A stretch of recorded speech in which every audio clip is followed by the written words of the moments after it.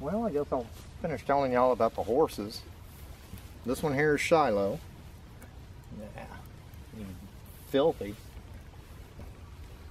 Shiloh started out as a racehorse in Pennsylvania. Um, when she was about two years old, they realized that she had a condition called moon blindness.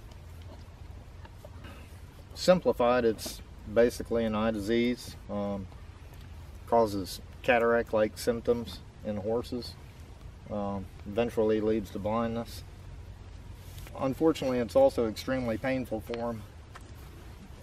You don't get no coffee? You know, once they realized she had moon blindness, they got rid of her.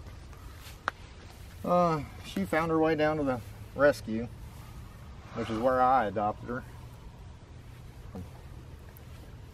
She's been a great horse. She's a good girl. Uh, she's my oldest. She's probably about, how old are you now? 20? Um, she was the first one we had. Had a lot of animals come and go. Since we got her, she's always been here. You can't have my coffee.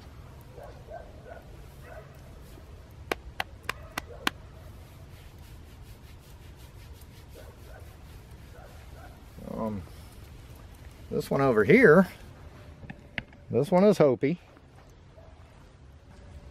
Hopi is a Mustang. Her and her mama were rounded up off the Utah range by the Bureau of Land Management in one of their roundups. Uh, the fellow that brought her back uh, had lots of horses and he couldn't take care of any of them. Uh, animal control was getting ready to go in and seize all his animals. Um, and I had heard about it through a buddy of mine that was a sheriff's deputy at the time. So, and I knew this little girl was over there, so I went over there and we worked out a deal for her. You know, I feel kind of bad that I couldn't have gotten her mama too.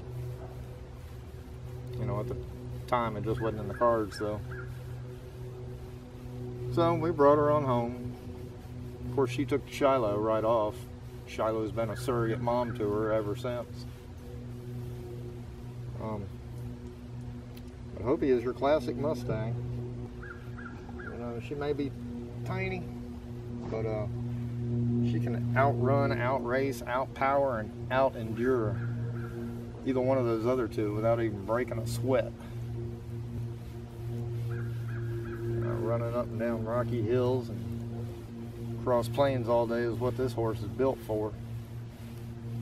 So outlasting those two is nothing to her.